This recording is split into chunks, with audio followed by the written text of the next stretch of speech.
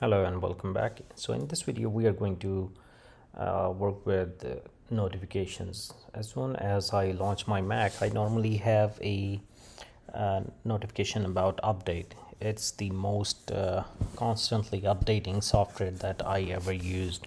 No, Windows does not uh, bother you as much as Mac. Mac does. It's every like I every week there is an update.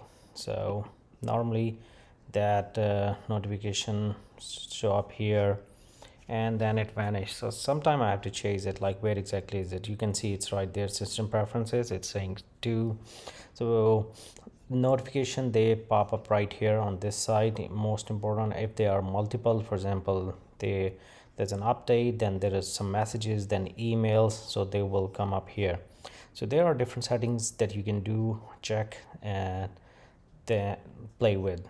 For example if you are working from home and you don't want those notifications to appear in a certain period for example after hours you you want to use the laptop but you don't want to be bothered by any notification. So you can set them up that way. You have a way of uh, using the computer but not worry about the work. So notification. Like i said they are normally here. They, all of them will show up here if you click on this time clock.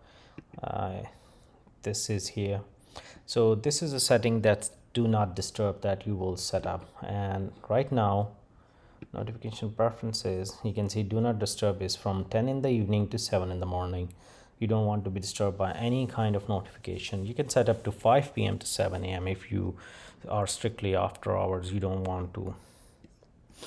Now the other thing about notifications is these are all the settings. You can see of different uh, uh, apps and their settings here. You can set them up to go to that. There are two ways again from do not disturb or you can go from the system preferences from here. Notification and settings. Uh,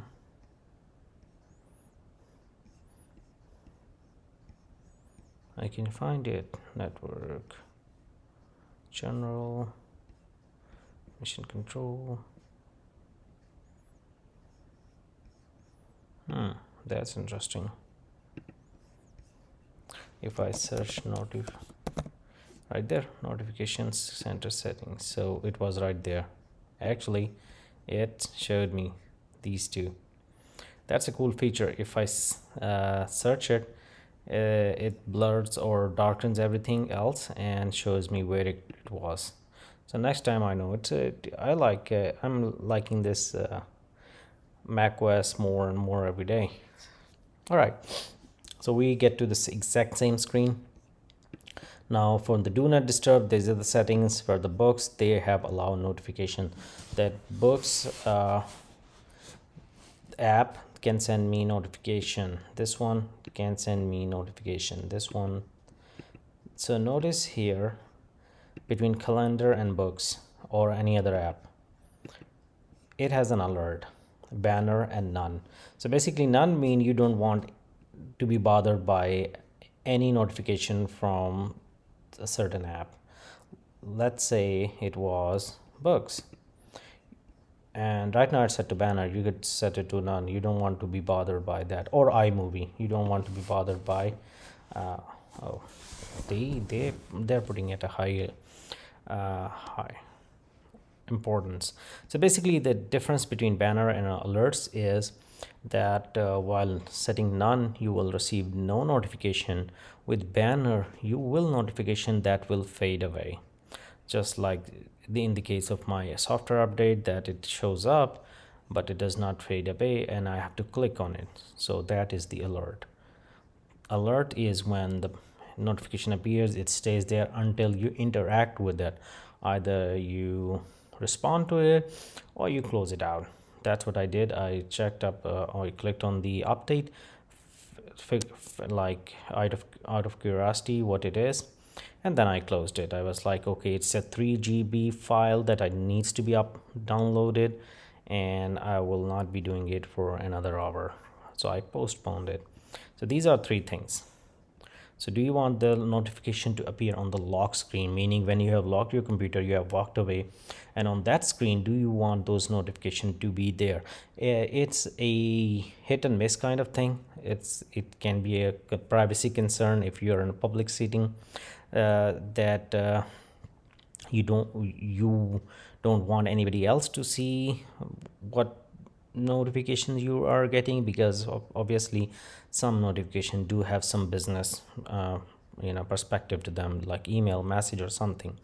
Uh, if it's a home environment you're working from home you have a home office you probably will choose this. So just in case you don't miss anything if you are you know because more uh, at home working people they are more relaxed they're going back and forth from here and there. So do show in notification center. That is the notification center right here. So do you want those notifications to show up right here or not? Or just pop up on the screen. If you don't interact they're gone and you have to just uh, chase them. So how do you chase them? They will show up on the each app. Obviously if that app is in front of your um, dock you will see them. Like in my case system preference has two up uh, two updates. That is probably for the windows update i believe. And it's refusing to pop up right now. So but you will see like three emails two messages so you you know. And that you're chasing them you click on them find what it is and then you know decide what to do. Badge app icon. This is the badge app icon this one so if I uncheck it there will be no icons over here on any app. But right now I do want them so that's why I'm at, oh this is for iMovie. That's why. So let's see do we have system update? Messages email. So these settings are for individual uh, mail. Okay so basically if somebody sends me an email probably nobody has in this one. Yeah.